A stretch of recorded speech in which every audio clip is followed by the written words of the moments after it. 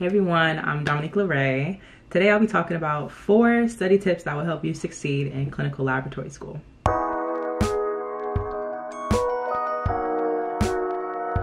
So we're gonna get straight into it. The first tip I have is to figure out your specific learning style. But keep in mind, taking time to figure out your learning style is only half the battle. The other half is actually implementing it and putting in the work so that you can be successful. But once you do this, you'll be ready to handle the mass amount of info provided in clinical lab school or most science and STEM-based courses in general. For example, I am a visual learner. When people ask me how I study and maintain high grades, all I say is that I read my textbook. Um, I also learn well by visual cues, and all of my notes are digital, but this consists of outlines, concept maps, flowcharts, anything that will help me organize all the information in my head.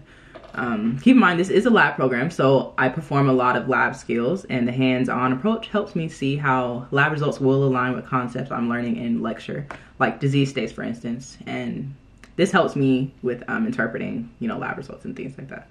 So I am absolutely not an auditory learner. I zone out constantly in lecture. I miss key information most of the time and especially if it's verbally given. So the great thing about online courses from the pandemic is that mostly all our lectures are pre-recorded. So if I do zone out, I'm able to pause the video, rewind to where I left off, and start over. But the issue with this is a 40 minute lecture will take me almost double that time to completely watch it because my attention span is just trash and I'm easily distracted and it's something I've always dealt with, but I've never, it's never like hindered my experience in college.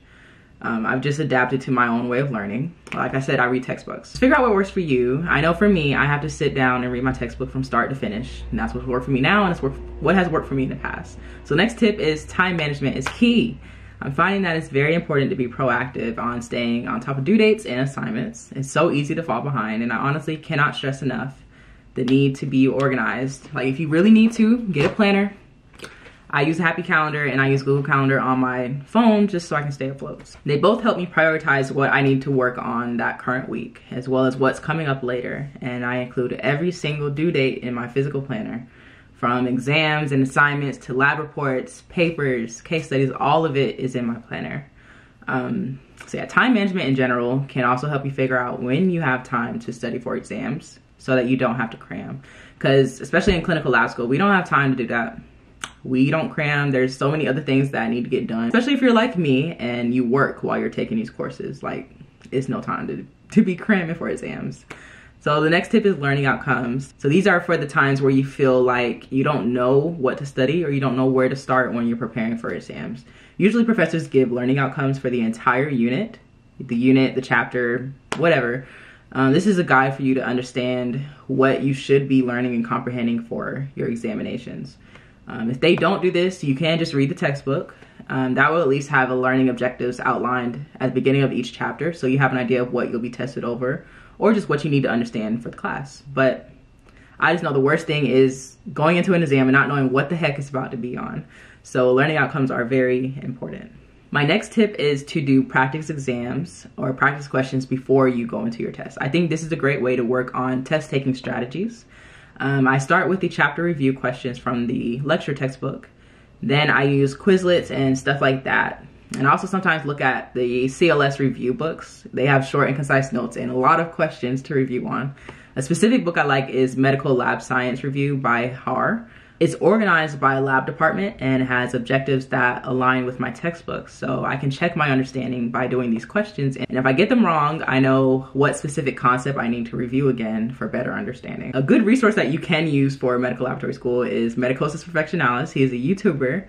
Um, there's also Osmosis and Khan Academy, but Medicosis has been guiding me when I needed to learn these disease correlations. So yeah, that's just a little tidbit. This is really a tip. This is just kind of like something that might help you, might not, but immerse yourself in the field. Take time to learn what the clinical laboratory field is all about. Keeping up with current events and articles will help bring together all the info that you're learning in class. It's also a great way to see how the theories that you learn in school are being applied in the real world. So yeah, just go online and read news articles, journals, do a quick Google Scholar search on topics that interest you. It may seem like a lot of reading, but most articles are only a few pages long, if any, if that. So, and they should be enjoyable if, you know, that's your true interest. So Yeah.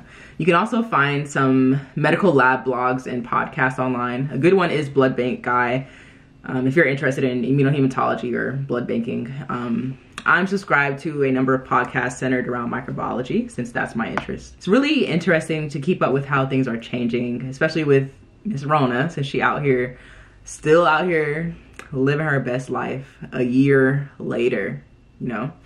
So that's basically it for this video. Um, I know it was mainly geared towards clinical lab students, but you can take these tips and apply them to any projected field of study. Just remember to study smart, do your best, and keep chugging along. So comment down below any of your study strategies that are helping you in school. And thanks for watching. Please like, comment, and subscribe to keep up with my journey through medical laboratory school.